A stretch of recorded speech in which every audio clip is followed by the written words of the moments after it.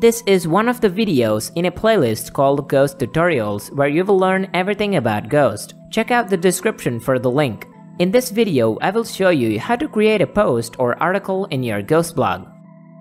So posts or articles in Ghost are called stories. There are two ways you can create a new story. From anywhere in the Ghost admin dashboard, click on this new story menu and start writing. But if you're in the stories page like I am, then click on the new story button. This is the story editor in Ghost. Personally, I feel that it is a lot cleaner than the WordPress post editor. If you're kind of a minimalist person, then you can click on this little area and hide the sidebar to get an even cleaner editor. Now the first thing I do when writing a story in Ghost is to set a title. We can change it anytime later, but we need to set a title first. Let me set the title of this video as our story title. Note that as soon as we gave a title to our story, Ghost gave our story a unique URL. It means that our new story is now a draft. Anything that you do here won't be lost. In this video, you won't be learning Markdown. I have 4 videos about Markdown in my channel which did not meet the current standards, so I will make a new single video about Markdown and you can find its link in the description once it is published. For now, I will just tell you how to use the editor. In the top left corner is the status label where you will find the status of your story, whether your story is a new one or a draft or published.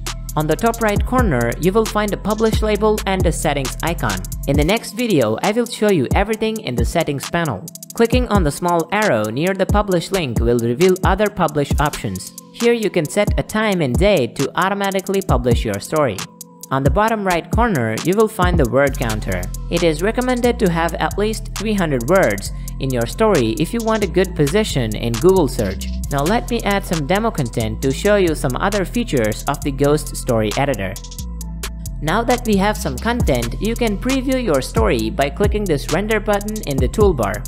The next type of previewing is the side-by-side -side, which is also my favorite.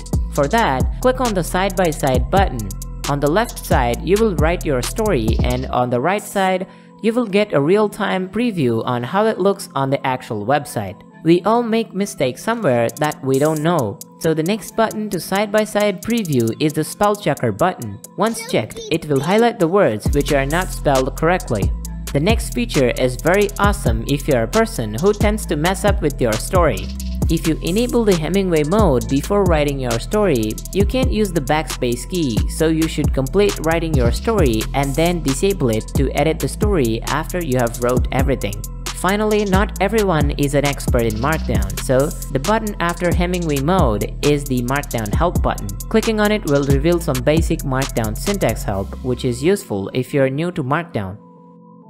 Markdown is a better way of writing a story, post, or article. You don't need to know HTML in order to write articles and also don't need to use those crappy WYSIWYG editors. In the next video, I will show you the settings panel and how the settings work.